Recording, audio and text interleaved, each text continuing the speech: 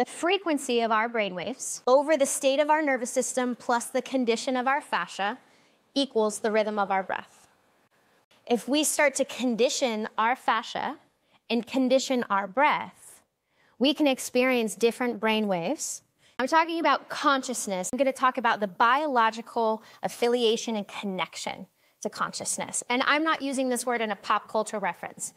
Let's go to Webster. Consciousness is defined as the quality or state of being aware, especially of something within oneself. If we deduce that to a nice, neat little word, it would be awareness and perception.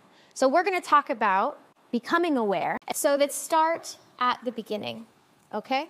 Our brain oscillates eight times a second between our inside chemicals and thoughts and outside reality. So, eight times a second, you are changing to the environment that is set before you. Mind doesn't take in 100% of an object or 100% of a sound ever. We are taking clips of what exists, parlaying it to our brain, and then going back and taking another clip.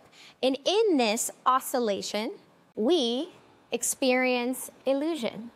This is just one example. Another example of how our consciousness, our awareness fluctuates, is based on learning. So every time we learn something new, it can actually change our perspective.